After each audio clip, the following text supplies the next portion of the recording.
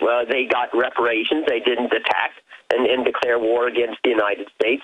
And they are they exercise realpolitik like others, even if they're imbalanced. You know, even Adolf Hitler didn't use chemical weapons in World War II. They have you know a desire of self-preservation. Uh, I'm certainly in favor of threatening them with total Sure. incineration if they ever used a weapon. What about Uh, the Saudi Arabia wild card? We know Saudi Arabia is in there pushing for war with Iran more than Israel. And again, I, for number 101, I think the wild card's a little less pronounced because the price of oil has plunged and we, we don't need so much Saudi oil. But uh, it is another example where we're being played by other countries to do their bidding. Know, the United States comes first. Uh, our citizens' interests come first. We pay the taxes. We obey the laws. We fight for the country. Uh, and we cannot permit, you know, Saudi Arabia to manipulate things. I mean, one thing I'd like Saudi Arabia to do is urge uh, the president uh, and the Congress to release these 28 classified documents that suggest they may have been up to their elbows in 9/11 itself. And Sure. here we have more than 10 years after the 9/11 Commission report, we don't even know what the, that that connection is because of the secrecy. Uh, but Saudi Arabia, other countries there, all wanting us to get involved in their affairs. We say, you know, our country comes first. What do you think's really at the bottom of this? Because we know the U.S. and Israel were, were allied trying to overthrow Syria using really nasty people out of Saudi Arabia and other areas to do it. We now call them ISIS. They were called Al-Qaeda. Now we know we've sided with Iran to try to get control of that out-of-control group. I I mean, I don't even know if there is cloak and dagger here. It just looks like a bunch of political wonks that have really screwed things up. Well, you're right, Alex. We oftentimes try to impute some kind of grand strategy or plan, but there isn't any. I mean, I've worked in, in, government as well. It's all ad hoc based upon the next 24-hour news cycle, and it is. It's just it's just reacting, you know, for the next next day. But that and that is the problem. There isn't any ultimate strategy. There's no goal. Can you imagine a war? Take World War II. It, it was defined as the goal is to was to degrade to degrade, you know, the the Luftwaffe. I mean, to fight the, the Japanese zero aircraft. That's not a strategy.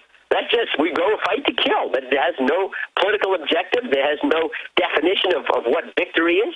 Uh, and that is one of the reasons why we should be out of this. We are in a position where if we didn't, you know, basically take a bayonet and smash a hornet's nest and create a lot of uh, very angry hornets, uh, we have the ability uh, to sit and ensure we are not attacked in the United States.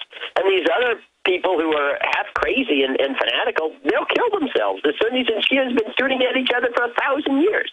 Why should we get involved? in their dispute. We don't wish misery on anybody else, but we got to be smart enough to know all we can Sure. do is create anger ourselves and make ourselves less safe, and that is just stupid. Bruce Fein, the former head lawyer at the FCC who got rid of the fairness doctrine, we owe talk radio and so much of freedom of speech on the internet to your initiative. And I know you don't like credit for it, but you you are the guy that did that uh, uh, and a lot more. But but he all, you also assisted Bob Barr in drafting articles of impeachment against William Jefferson Clinton. I mean, you are a guy that gets stuff done.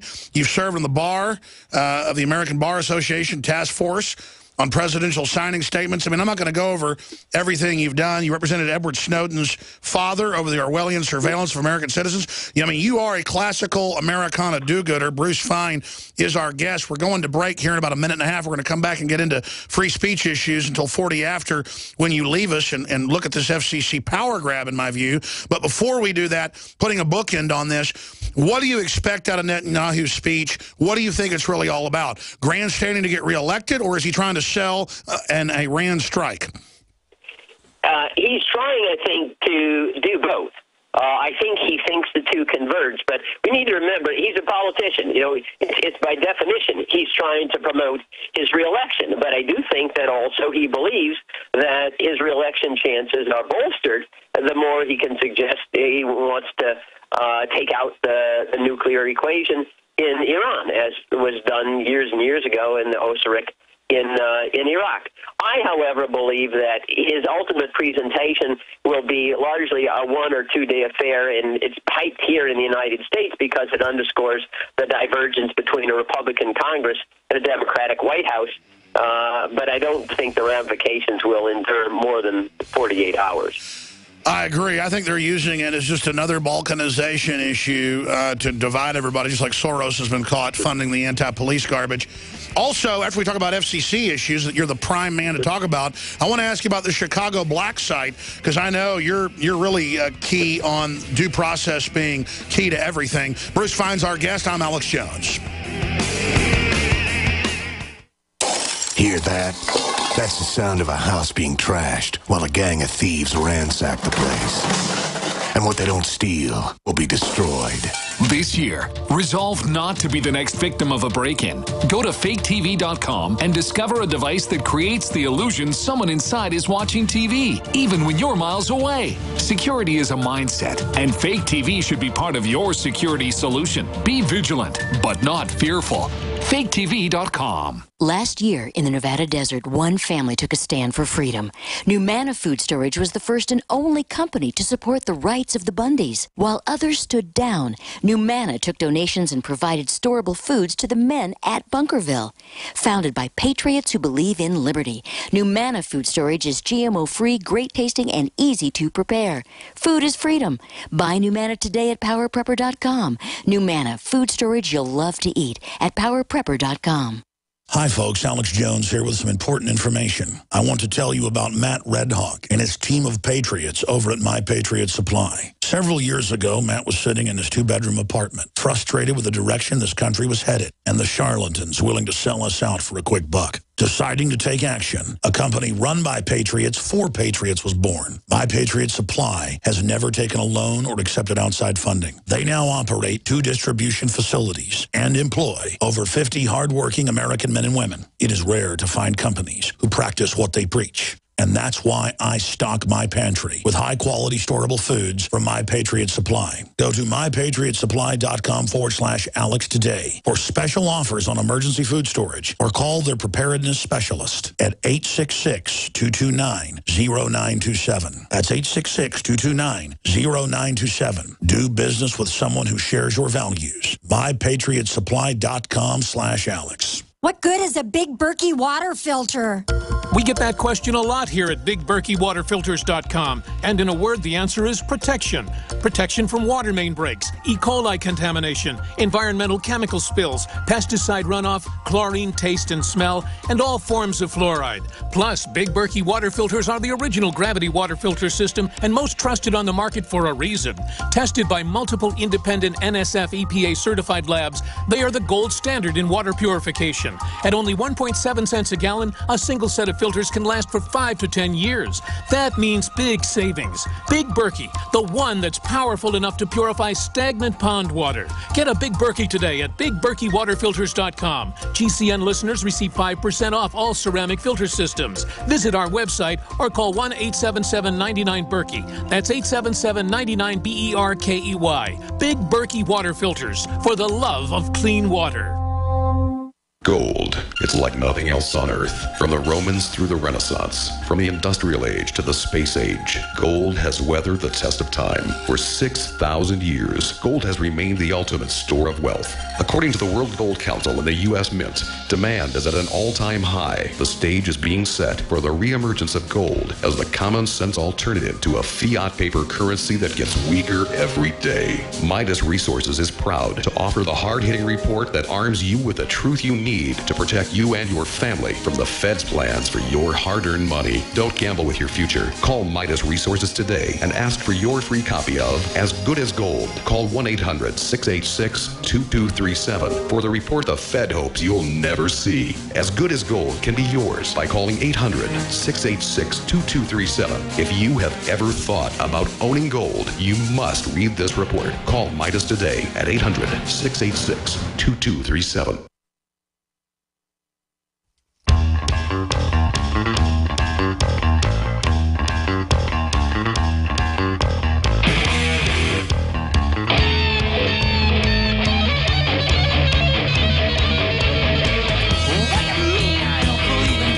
listening to The Alex Jones Show. I'm Alex Jones, your host.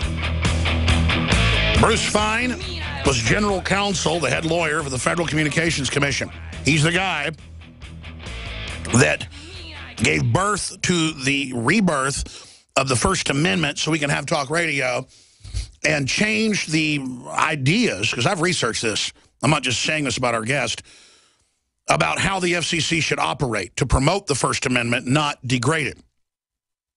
But I'm being partisan here because it's a fact. Under Obama, we have seen an acceleration towards it to censor and control. We've heard senators say, use the FCC for a fairness doctrine. Take over cable. Take over movies. Take over print. When it's online, we need to protect the public from hate speech. But how better to fund it than for George Soros to give $196 million to bill it as net neutrality. Now, I haven't gotten Bruce's take on this current fiasco yet, but we'll find out. As best I can tell, sir, you're the expert on this, this is a Trojan horse, and they won't release the 332 pages, and he won't testify to Congress. What is going on? Well, I think it's a usurpation, again, of the executive branch of the legislative authority of Congress. And think of this uh, rather bizarre element to this net neutrality ruling. On the one hand, the commission, the three Democrats conclude that you know the antitrust laws, the anti-monopoly laws aren't sufficient uh, to protect the public interest and efficient operations of the internet. Uh, on the other hand, they say that there's so little need for it, they're going to forbear from regulating prices and, and 90% of what they could uh, regulate under Title II. That's called the Common Carrier Regulation. So they're basically just picking and choosing you know, what parts of a statute they want to enforce. So that's up to the, it's, it's an earmark of, of what Congress should be deciding. There's another element about net neutrality that is equally bizarre, and that is typically, Alex, when you uh, buy a service, you can have various qualities of the provision. For instance, you can fly first class or business class or economy class. You get taken from A to B, uh, but the actual quality of the service varies, and you pay more if you receive higher quality. First class pays more than economy. And net neutrality is trying to say, well, you shouldn't permit people to buy first class tickets. I mean, really? That would seem bizarre to anybody who has taken a plane and, for whatever reason, needed the space, needed the rest, or whatever, to have a greater accommodation.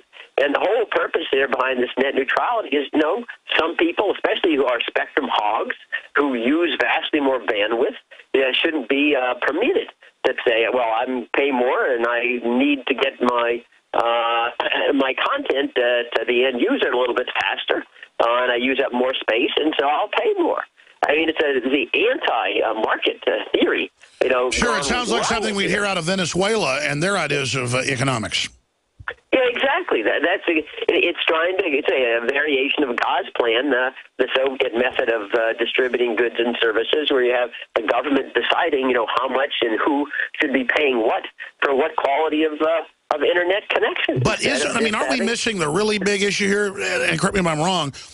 Isn't this a power grab with the FCC saying that it's now over telecommunications completely, and, the, and that it's going to be over? uh, future development of that architecture? I mean, that's a huge expansion of the jurisdiction. Well, certainly it's a, what I view as a usurpation. And although they claim that uh, for the moment they won't use it to regulate prices uh, uh, in, in, in detail, they're claiming that they could if they wish to. And I want to step back for just a moment, Alex, and, and remind the audience that the antitrust laws, you know, they call them the, the Magna Carta of economic liberties, they apply in telecommunications, the internet, like they apply anyone else. So no one's talking about permitting price fixing or abuse of monopoly power. That's already illegal and we have the Federal Trade Commission and the Justice Department to enforce them. So while we have the FCC coming back and saying, well, we know better than the Charter of Economic Liberties, you know, how the Internet should be run, especially ridiculous conclusion when it's the Internet that's, that's really the, the engine. It's the 20 cylinders of our economy that's making things move. Why are you trying to mess up something that's working very, very well? And the answer is it goes back to politics and, say, disgruntlement uh, uh, with uh, the way the market system works, as most progressives and, and liberals are. They don't believe in free sure. trade. Why would the chairman not show up to Congress? That seems very belligerent.